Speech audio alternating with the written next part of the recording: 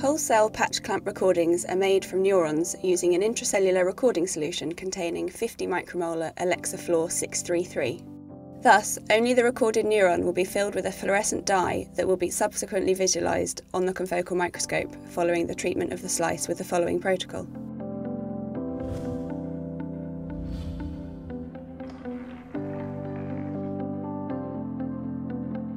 Remove the brain slice from the recording chamber and submerge overnight in 4% power paraformaldehyde in 0.1 molar phosphate buffer, pH 7.4.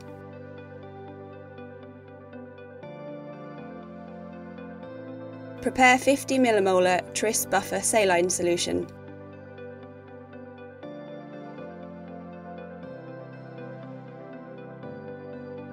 And add 1% Triton X100 to a proportion of the solution.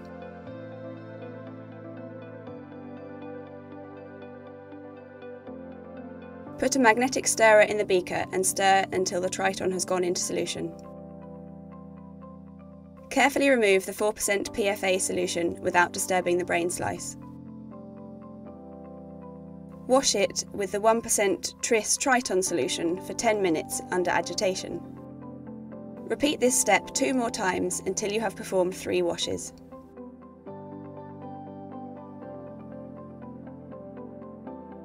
Prepare the blocking solution by adding 4% normal goat serum to 1% Tris Triton solution.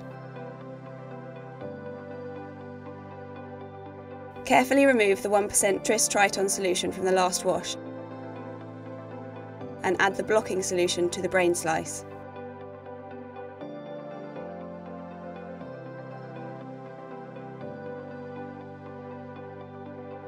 Leave to block for one hour with agitation. Prepare the primary antibody solution by diluting the primary antibody in the Tris Triton solution to the correct dilution factor. A good starting point is the guideline provided by Abcam with the product, but it is recommended to optimise this for each antibody used. Remove the blocking solution, do not wash, and add the primary antibody solution to the brain slice.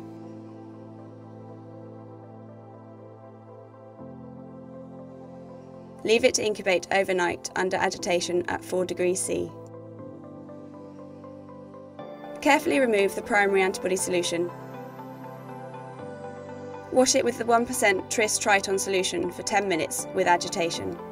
Repeat this step two more times until you have performed three washes. Prepare the secondary antibody solution by diluting the secondary antibody in the Tris Triton solution to the correct dilution factor. A good starting point is the guideline provided by Abcam with the product, but it is recommended to optimise this for each antibody used. Here we are using a secondary that is conjugated with Alexa Fluor 647. Remove the wash solution and add the secondary antibody solution to the brain slice.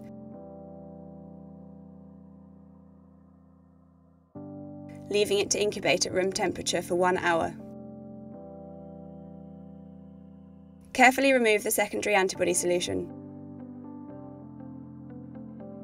Wash it with the 1% Tris Triton solution for 10 minutes under agitation. Repeat this step two more times until you have performed three washes.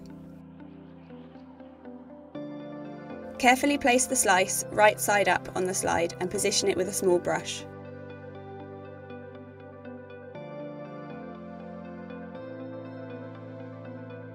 Apply the mounting media and cover slip.